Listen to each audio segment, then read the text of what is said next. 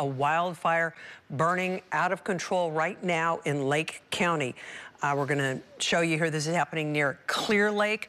Evacuation orders, they're currently in effect. Um, and there you go. We are looking at time-lapse video of that fire right now. It has burned so far about 200 acres. And they've just updated that uh, 294, almost 300 acres. Joining us now is Jason Clay with CAL FIRE. Jason, uh, what do you know about this fire? What's the latest? Yeah, you're spot on with the acreage. We just got uh, additional mapping that showed it just under 300 acres. You can see behind me and up above. Um, you know, it's an active firefight right now. Uh, so we got our resources, a significant augmentation of resources, both air and ground, that are attacking the fire. And it's really has started moving towards the east, um, in, in, some aspects towards Clear Lake. Um, but uh, the area that you're seeing right up above me is one of the areas of, of concern. Uh, El Cerrito Road up there, as the fire has started to back down some as well towards the lake. Um, you were referencing the smoke coming up behind you. That is the fire that we're addressing right now. And you say you're hitting it from uh, the ground and then also from the air. Uh, how many uh, people do you have uh, trying to take this thing down? Yeah, so that section right there that you're looking at, we got a bunch of hand crews and bulldozers that are working on uh, control lines to keep that from backing down. There are some homes in that area. We do have homes that are uh, threatened. There's in the evacuation zones, there's just under 4,000 people that are in the evacuation order. And then the Lake County Sheriff also issued an uh, evacuation warning that there's about additional 400 people in that area. So uh, we're working really hard on both uh, firefighting suppression efforts as well as structured defense. Uh, we got about 25 engines that so far are responding to the incident. Uh, we got, I think it was eight fixed wing aircraft. We got five helicopters, uh, five dozers. Um, so we got a, a, significant number of resources that are coming.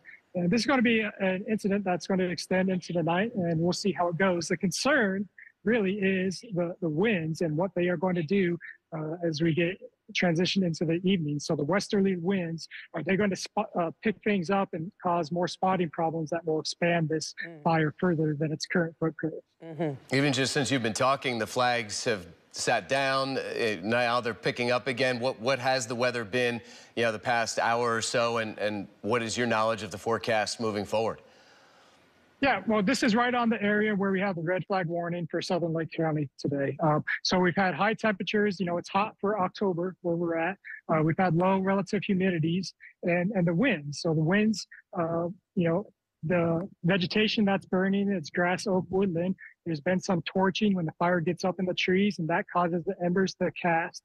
So the embers are being spread out, and that's what initially expanded this fire. And so those winds are the area of concern. Uh, and we're looking to see what the winds are going to do. We've got the spot forecast, expecting some more westerly winds tonight. Uh, we'll just see what it actually turns out to be. So we're working hard on the control lines right now in preparation for uh, in increase of wind. Gosh, Jason, it is so scary, those embers when they start flying, um, you know, and, and, you think you might have it out and then it just pops up somewhere else. Um, uh, you guys are no strangers to, to fires in that area. Um, how are people responding? You have ha had uh, evacuations as well. Yeah, uh, working hand in hand with the Lake County Sheriff's Office. They've done a phenomenal job of working to get people out. Like I said, it was, I think, just under 4,000 people in the evacuation order areas uh, that get it out. So uh, it's a, co a, coordinated effort, and we got a lot of resources at hand. We have, like we said, a significant augmentation of resources here to uh, battle this fire. Latest uh, we heard from CHP Clear Lake is that Route 20, and, and if we have a map, we can put it up. Uh, Route 20 is closed from Glenhaven uh, to east of Clearlake Oaks at Route 53. Is that the latest as far as you know it?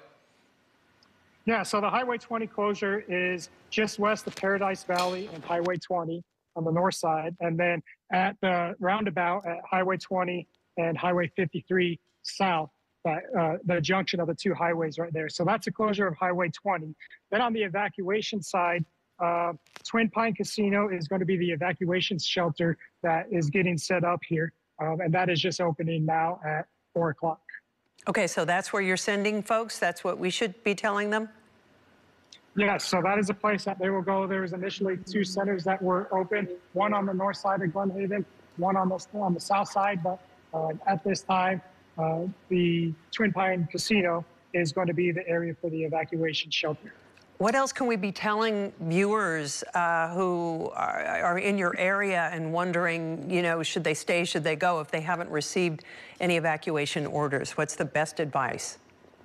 Well, if you are in the areas with the evacuation order or warning, you know, you really need to get out because this is a, a, very active fire. Like we said, the concern of what the winds are going to do tonight, if that causes it to expand further.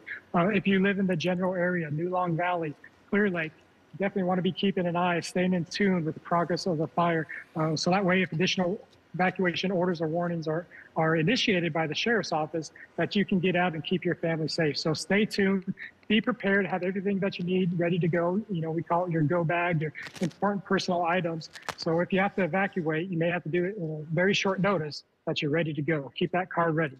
How close is the fire to some of these homes? Like, is there an imminent threat with any structures? There are structures threatened. We don't have any confirmed reports of any structures destroyed at this point. That'll take some time to get into and, and develop as we get go through any damage inspection process. So, but this time we we don't have that, but we do know that there are structures threatened. Um, and again, the two priorities are uh, structure defense. So we got a lot of resources that are assigned to homes in the, the areas, and then the fire suppression efforts. That's being a, a very aggressive attack from the air and the ground. Okay, uh, Jason Clay with CAL FIRE, we appreciate the time that you've taken to explain this to our viewers, some who uh, may be threatened even as we speak. Uh, we wish you well and uh, certainly hope that the weather cooperates with you as well. Thanks, Jason. Yeah, let's do. Thank you.